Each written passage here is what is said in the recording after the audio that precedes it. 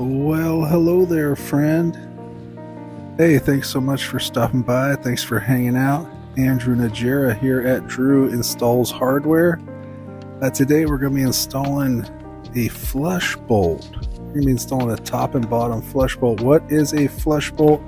Well, a flush bolt is a piece of hardware that secures the inactive leaf on a pair of doors. Uh, that'd be like a pair of doors where you got a handle set where the uh, doors don't operate independently, but you have an active one that opens first and then the inactive one that opens second. Hey, but the inactive leaf got has to close first, you know what I'm saying? So what goes around comes around. Here we have an Ives product. It's got a top and bottom flush bolt. The top flush bolt uh, is um, retracts just with gravity. So you'll see the plunger there. You just click it, it goes up and down and it comes back down with gravity. The bottom flush bolt's got a spring built into it so that it pushes down and then the spring will bring it back up. So that's what we're working with. These are hollow metal doors. So you have different flush bolts for hollow metal doors. This is a FB31. Man, I should have, I don't know. We'll figure it out.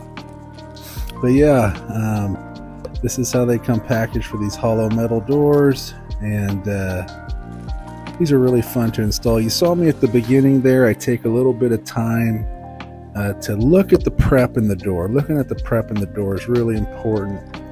Um, all the doors are built differently. They all come a little different. You'll see me, I'm trying to dry fit it there. And I'm noticing the prep's a little tight. And that's a common thing to happen. So I'm going to try to just spread the skin of that door just a little bit, just a little bit. Give me a little bit of room for that uh, flush bolt to sit in there. Really nice. And that's really important too, especially on the uh, kinds of flush bolts like this one that have a really thin uh, metal cover plate. Man, I see so many times that thin metal cover plate's all jacked up because it didn't take time to um, kind of clean up the preps. You see here, I'm setting the bottom flush bolt in place. I have a screwdriver holding one end of it up so that I can kind of see me threading the rod through the bottom and then you start twisting it into the prep in the bottom of that flush bolt. And once it's threaded, then I can remove that screwdriver, let it sit in its prep, and then um, continue screwing that bottom flush bolt in. As far as spacing goes, I'll use sometimes measure the opening. Sometimes I'll see if the opening is getting a flush bolt, I mean, sorry, a threshold. That kind of determines how much I have that bottom bolt sticking out before it gets activated. And uh, yeah, and this is uh, with these automatic flush bolts, the way they get activated is the other the other leaf, the active leaf, um, basically hits those activators pushing that bolt down so it's pretty sometimes the uh, um, sometimes your spacing there can be critical and uh, some models you can adjust without having to drop the door. Some models to adjust that bottom flush bolt length you're to end up having to drop the door. And we try to avoid that as much as possible. Now i'm opening up those screw packs. And uh, yeah okay.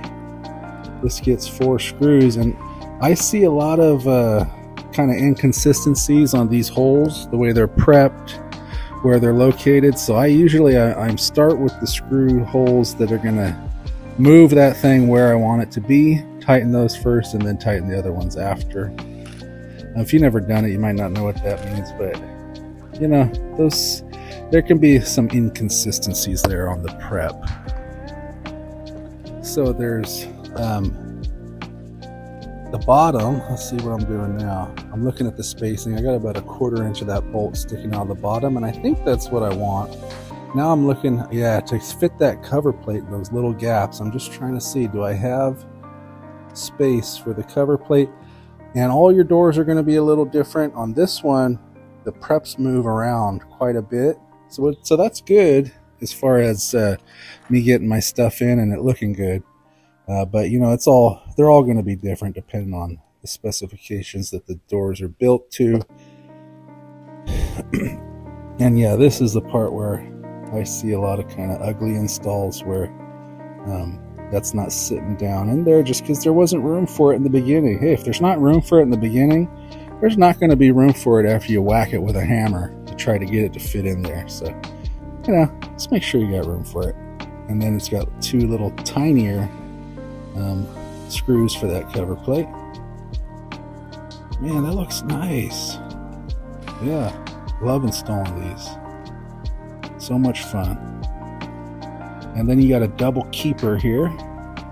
And it's always nice when uh, the screw hole when it's always nice when the screw holes at the top and the bottom of the door are prepped. Sometimes they're not prepped, I don't know why. Lately, they're all coming prepped and there's two countersunk holes in that double keeper plate that you put the screws into and boom shakalaka. boom shakalaka. There you go. Hey, your bottom flush bolt's installed. Congratulations. Let's go do it to the top. Hey, don't yeah, don't savor that victory too long. We got we got work to do. Let's go to the top. All right, good. Working on the top, I'm gonna do the same thing. You'll see me do the same thing I did at the bottom. See how that drops. I'm trying to give myself a little window there to see see what I'm doing. You saw at the bottom one I used the screwdriver. That works really well. You can just hold it up too with your hands if you want to. And uh, I think I'm just give me a little better look. Oh, there it is. So I'm I'm actually pushing the actuator so that it comes the uh, threaded or the uh, part I'm screwing into comes up, and then once it just gets started, I can put it in place and continue tightening the rod and uh, yeah, it's looking good. And that's going to get four, I think those are 832 combo screws. Um, that's what's going to get screwed in first. And then, uh, then I'll get the cover plate. It'll get a double keeper at the top again also. And yeah, it's looking good. And on the top, so as far as your um, length of your rod at the top, you don't you don't want the top one sticking out above the door at all. That would be that could lead to problems. That could cause some problems, like the door closing and then not being able to open again. Seen it, done it. Don't do it. Yeah. So your top. Uh, what am I doing? Did I mess something up? Okay. No, I'm good we're looking good. Yeah, but the top flush bolt you just want to be flush with the top of the door, and maybe even it could be under. You know, doesn't have to be perfectly flush; could be a little under. Because uh, if you think about it, um, in a perfect world, you're just going to have an eighth-inch gap at the head of your door. So if that, as soon as that bolt moves up more than an eighth of an inch, it's going to go into the strike prep in the frame. So, so it doesn't have to be sticking out of the door. It, it needs to just be flush with the top of the door. The bottom one, on the other hand, it could be a half inch higher. It, it could be need to get thrown three eighths of an inch, a half an inch, um, before uh, it's going to get to what it's going to lock into. If it's a dust-proof strike or the ground with the little uh, strike plate, whatever um, if it's a threshold, then that threshold comes up so it doesn't have to throw quite as far. But you see why you're going to want to have the bottom one usually sticking down a little bit more. And here, since I had spread those earlier to allow room for our stuff, they look a little spread. So I give it a little tap. Yeah, holy magic, magic of moving metal. Straighten back up. Look beautiful. Well, what am I, why haven't I swung this door yet? What am I waiting for?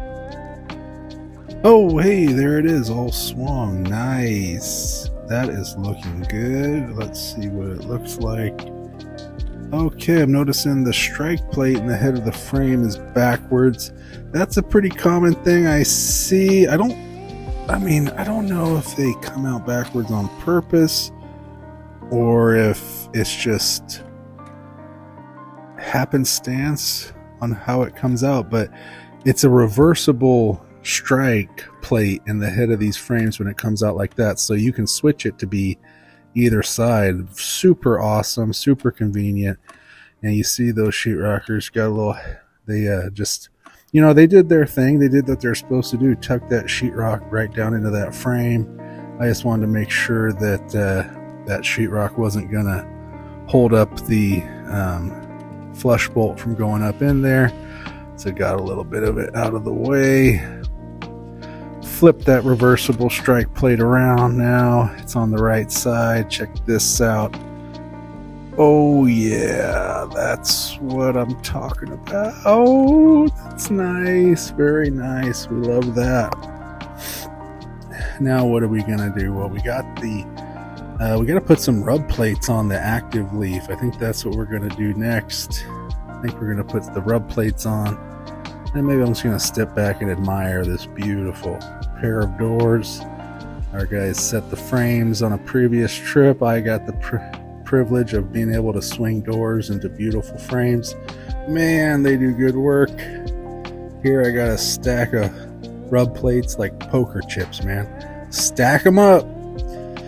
Yeah, tried to do these like production style when possible. So uh, the rub plate is going to be installed on the active door, and I'm just marking right now where I need to put those, where the active door makes contact uh, with the inactive door, and uh, uh, yeah, usually I just do a pencil mark. What am I doing here?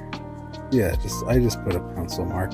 Even just closing the door, sometimes you can see exactly where those guys are, depending on how the paint is. Oh, and I'm getting triggered right now. Oh my gosh, we only have one kick plate on. Okay, I've just been triggered in many different ways. Not only do I just have one kick plate on one of the doors of the pair, the kick plate is not screwed off. There's only two screws in it holding it up yeah, I don't know if I want to make it through the rest of this video looking at this. I don't know how I made it through this workday. No, I know exactly why it's like that. But man, I don't like it. Okay. Come on, Drew.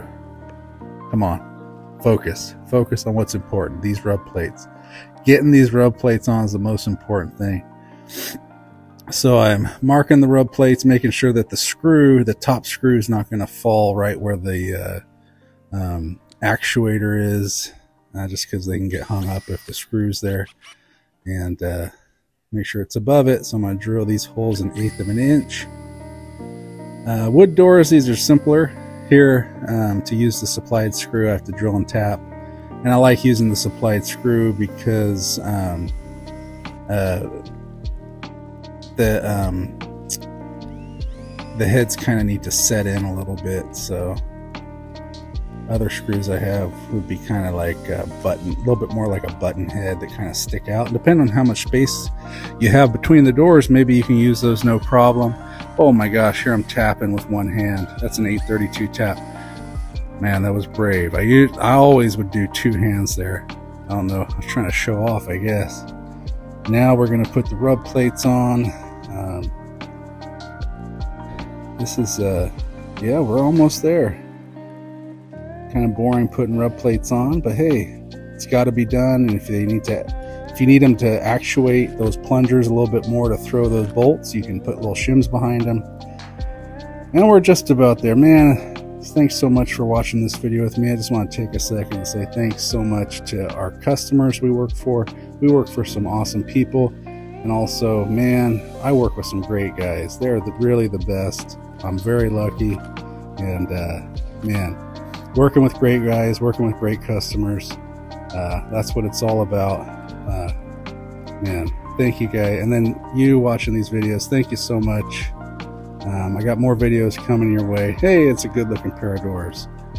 So uh, hopefully these videos are helping you out or at least providing a little entertainment. So until next time, uh, happy hardwaring.